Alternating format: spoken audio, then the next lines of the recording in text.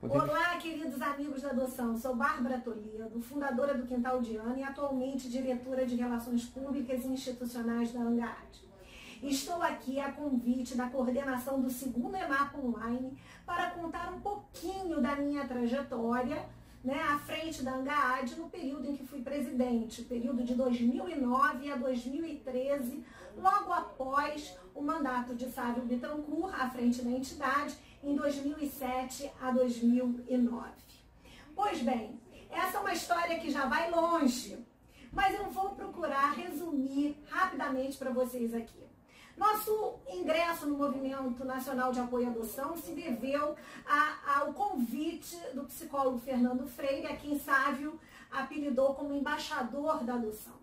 Dado o seu trabalho formidável de fomentar a criação de inúmeros grupos de apoio à adoção por todo o Brasil e ajudar na organização e realização dos encontros nacionais dos grupos de apoio à adoção. É, e sabe, logo em 2000 foi palestrante no Quinto Enapa, no Rio de Janeiro, e nesse ano mesmo fundamos o Quintal de Ana.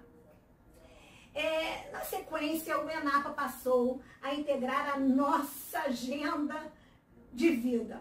Não perdíamos um Enapa, porque realmente ali nos abastecíamos e nos alimentávamos né, da, da, da causa da adoção, da força da militância e principalmente do afeto. Em 2004, no ENAPA, em Belo Horizonte, ainda quando o, o, psicólogo Fernando Freire garantia a apresentação no palco dos grupos de apoio à adoção presentes, é, eu lancei um desafio para os grupos ali, né, naquele momento, que realizassem os encontros estaduais dos grupos de apoio à adoção, justamente para fortalecer a união, a integração entre os grupos, na sua identidade e, e, e, identidade da causa pela adoção, da cultura da adoção e deliberarem em conjunto as iniciativas mais prioritárias para trabalhar no seu estado e levarem então para um encontro nacional. E assim, a partir do segundo semestre de 2004, começaram os encontros estaduais de apoio à adoção.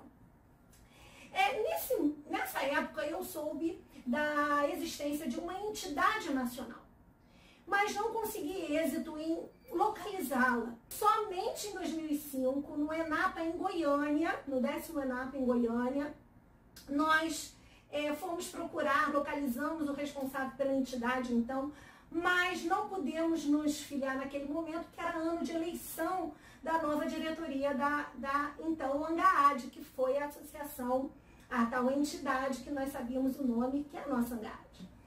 Mas a frustração inicial foi vencida, foi superada, porque o Quintal de Ana foi escolhido para sediar o ENAPA seguinte, o 11º ENAPA, Adoção, um destino na sua mão, em Niterói. E foi um ENAPA muito especial, muito querido. Poder ser o anfitrião e acolher todos os irmãos, os militantes da, da causa da adoção foi uma alegria imensa. Né? Então, realmente, essa, a, essa situação foi superada e também porque quem assumiu foi a Marisa D'Angelo, então como presidente da ANGAD, também do Rio de Janeiro, com quem pudemos partilhar e colaborar para o, o, o fortalecimento da ANGAD. E no ano seguinte, né, depois de 2006, 2007, o que, que acontece? Sávio Bittencourt é aclamado presidente da ANGAD numa cerimônia lindíssima, onde a Assembleia Geral foi soberana, permitindo que todos os grupos de apoio à adoção, com personalidade jurídica ou sem personalidade jurídica, pudessem deliberar e votar. Foi uma festa, foi realmente muito emocionante ver o entrosamento e, e a vontade dos grupos, então, de participarem da entidade nacional. Dois anos depois, no Enapa de São Paulo, eu fui conclamada, para não dizer convocada, a assumir a presidência é, da ANGAAD em sucessão a Sábio Betancourt e, e dar continuidade ao trabalho por ele realizado, que era um trabalho hercúleo para a regularização da nossa entidade. né, nós foram assim mandatos que exigiram muito na regularização de documentos, na adequação do estatuto conforme o novo Código Civil, é, coleta de assinatura de atas e, e outros documentos pretéritos à nossa gestão, de pessoas que já não constavam mais no movimento, mas conseguimos. Né? O nosso CNPJ estava inativo, da ANGAD. E, e, mas isso tudo foi regularizado, foi vencido, levou um tempo, levou um esforço, mas conseguimos isso. Nós estávamos com tudo então preparado, né? É pronto para que as próximas diretorias, as próximas gestões pudessem alçar voos maiores. Mas durante a minha gestão, e aqui que eu quero pontuar com vocês, eu gostaria de elencar algumas realizações muito significativas. Eu vou pegar minha colinha, porque foram algumas que eu fui lembrando ao longo do caminho nessa história que já vai longe. Foi lançado o primeiro site da Angaad, né? Produzimos o primeiro vídeo institucional da Angaad, que depois eu vou botar o link para vocês terem a oportunidade de assistir, porque esse vídeo faz o resgate histórico da Angaad, com todos os presidentes que passaram, que se a gente não valoriza essa história, a gente não valoriza quem a gente é, onde a gente chegou, não é mesmo? Demos continuidade aos boletins informativos da gestão anterior. Né?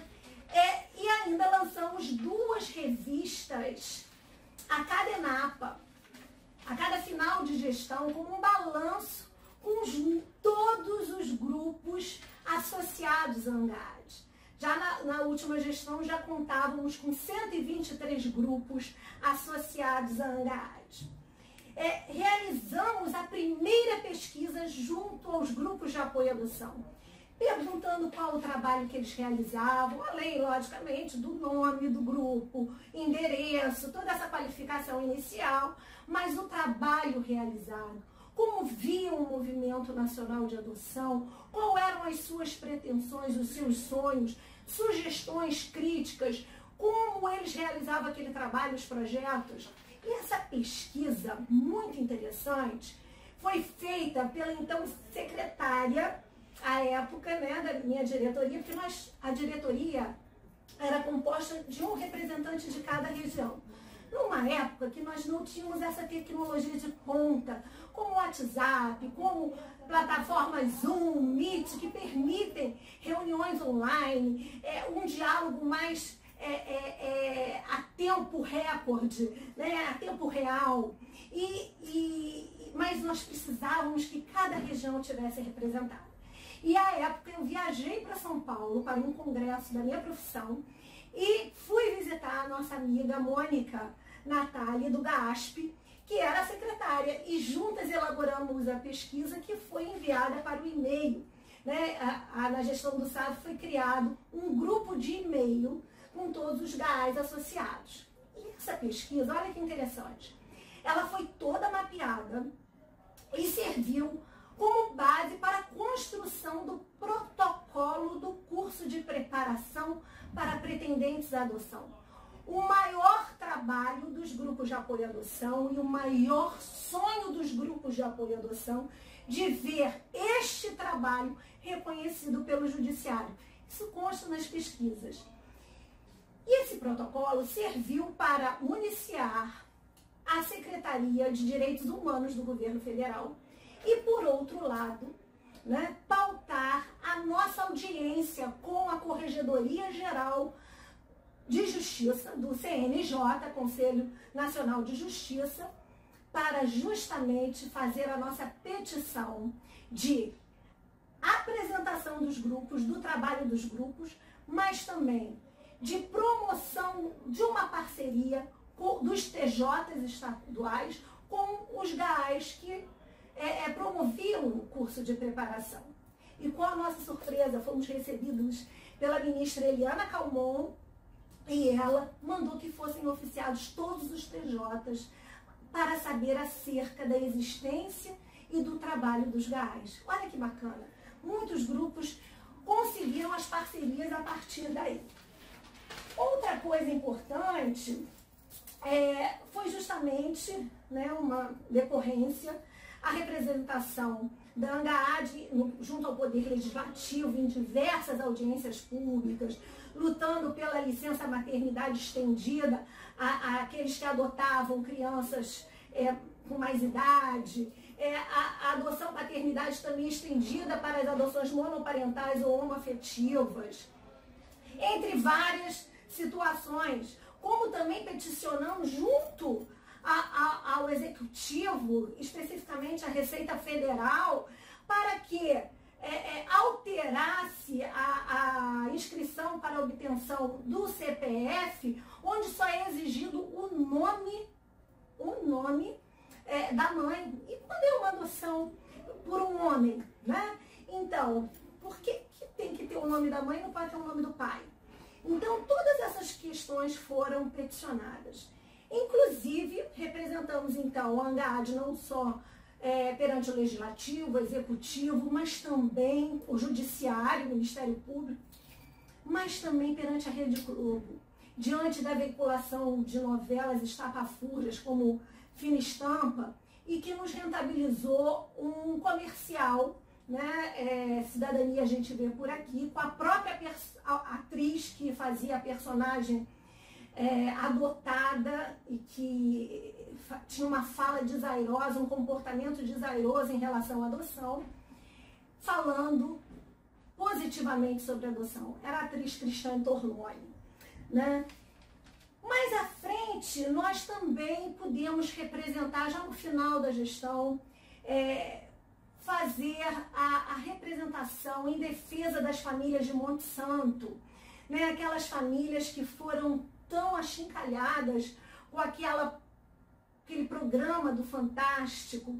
E hoje todo mundo já sabe o desfecho dessa história. Né? É, muitas conseguiram seus filhos de volta, seus filhos adotivos de verdade, porque eram famílias de verdade. Mas sem sombra de dúvida, o prejuízo a essas famílias, a essas crianças, é, é inenarrável. Né? E, por fim, nós conseguimos lançar frentes parlamentares é, pró-adoção. No estado do Rio de Janeiro foi o primeiro, seguido de São Paulo, Minas Gerais e também no Congresso Nacional, até com a presença do, do nosso querido padre Fábio de Mello, que cantou a música Filho Adotivo em plena a, a solenidade de lançamento da frente, todos vestiram a camisa da adoção, e foi uma cerimônia muito emocionante. E, e, e além fato extraordinário, que eu considero extraordinário, que me causa uma grande emoção. A realização da primeira caminhada pela adoção legal, segura e para sempre. E essa caminhada que se iniciou no Rio de Janeiro é, teve adesão de outros estados, na forma de caminhada, ou corrida, ou passeio ciclístico, e tudo isso vem ao encontro do fortalecimento da nossa causa. E ainda não posso esquecer de falar como esse período nós alavancamos a busca ativa, colocamos a busca ativa num patamar de, de reconhecimento e de um projeto de iniciativa louvável dos grupos de apoio à adoção, mesmo né, é, é, tendo compreensão contrária de pessoas, é, de entidades externas, do judiciário. Mas o que nós vemos hoje? A busca ativa sendo feita pelo próprio judiciário através de aplicativos, de campanhas, ele abraçou, ou seja, a nossa fé foi maior que o medo, porque nós tínhamos a certeza, a convicção que nós estávamos no caminho certo. Assim também, quando nós abraçamos os primeiros grupos virtuais como associados da ANGAD. E olha o que nós vemos hoje um movimento virtualizado, uma pandemia que virtualizou não só o movimento, mas o mundo inteiro, o trabalho de tantas pessoas. E as famílias estão sendo preparadas, as famílias estão sendo apoiadas nos seus projetos adotivos, seja na preparação ou no pós-adoção. A busca ativa está acontecendo, os encontros entre pretendentes e crianças é, em situação de acolhimento estão acontecendo através de videoconferências. vai, quando a gente não tem medo do futuro, a gente sabe que a iniciativa é boa, as pessoas são sérias, vocacionadas, porque todos estão trabalhando voluntariamente, estão trabalhando com amor, a gente consegue avançar. E nós conseguimos vencer o nosso propósito tão temido lá atrás. Ganhou ares de legalidade quando o Tribunal do Paraná tem o aplicativo do ADOT, quando o Ministério Público do Rio de Janeiro tem um, um, um programa né, é, é, para a busca ativa de crianças, quando nós temos um Tribunal de Pernambuco fazendo campanhas fortes né, junto aos, ao, aos times de futebol para a busca ativa de crianças. E tantas crianças que a partir dessas iniciativas encontraram suas famílias. Viva o Movimento Nacional de Adoção. Viva a Angaad, que não tem medo de inovar. Um beijo no coração de vocês.